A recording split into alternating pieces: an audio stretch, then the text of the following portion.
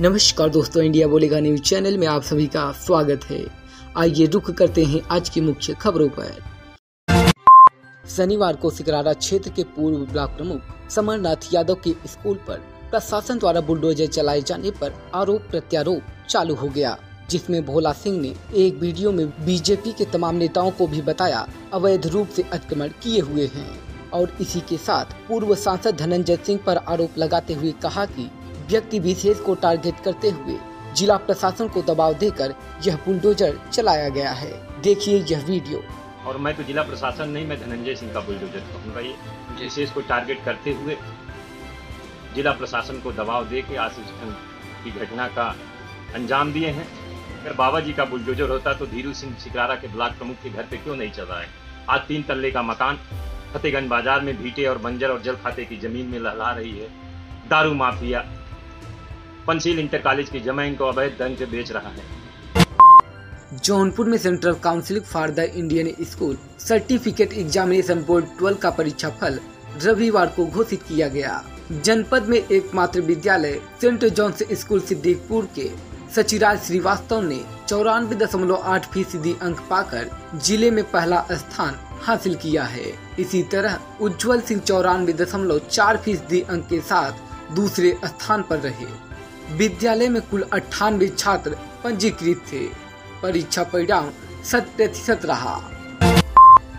Javelin thrower Rohit Yadav world athletics championship के final मुकाबले में पदक से वंचित रह गए। अमेरिका के यूजिन में आयोजित इस प्रतियोगिता में भारत के स्टार भाला फेंक एथलीट नीरज चोपड़ा ने रजत पदक हासिल किया। कॉमनवेल्थ गेम के लिए क्वालिफाई कर चुके। बनारस रेल इंजन कारखाना के जेवलिन थ्रोअर रोहित यादव इतिहास रचने से महज एक कदम दूर रह गए। जौनपुर के मीरगंज क्षेत्र के डबिया अदारी निवासी रोहित यादव ने फाइनल में दसवां स्थान हासिल किया। वह तीसरे राउंड के बाद बाहर हो गए।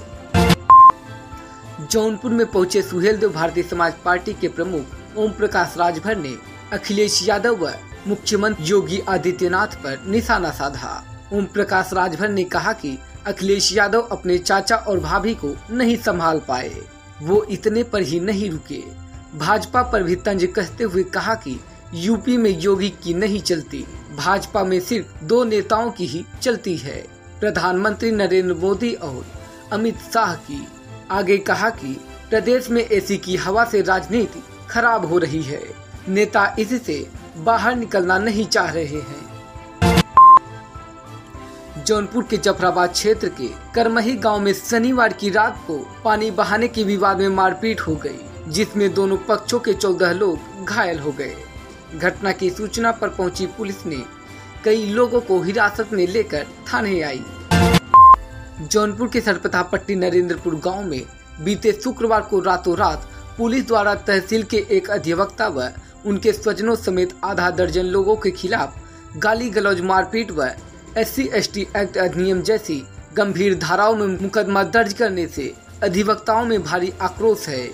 शनिवार देर शाम बड़ी संख्या में अधिवक्ताओं का प्रतिनिधि मंडल S D M Shahganj Nitish Kumar Singh से मिला और मामले की निष्पक्ष जाँच की मांग की।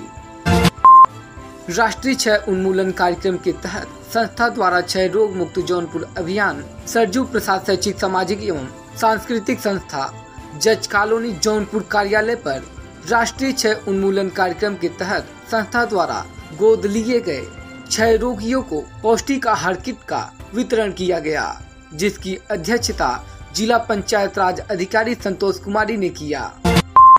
राम जानकी मठ गुलर घाट के प्रांगण में अंतर्राष्ट्रीय हिंदू परिषद राष्ट्रीय बजरंग दल की बैठक हुई। बैठक की अध्यक्षता राकेश श्रीवास्तव, विभागाध्यक्ष अहिप ने किया। संचालन चंद्र प्रकाश तिवारी ने किया। बैठक विकास खंड भारत कार्यक्रम योजना को बताने के लिए संजय दुबे, प्रांतीय सह संगठन मंत्री व राजेश शुक्ला, प्रांतीय अध्यक्ष, सेवानिवृत्त सेवा परिषद उपस्थित रहे। अगर आपको हमारा वीडियो पसंद आया है तो प्लीज़ लाइक कीजिए, सब्सक्राइब कीजिए और बेल आइकन की घंटी ज़रूर दबाइएगा।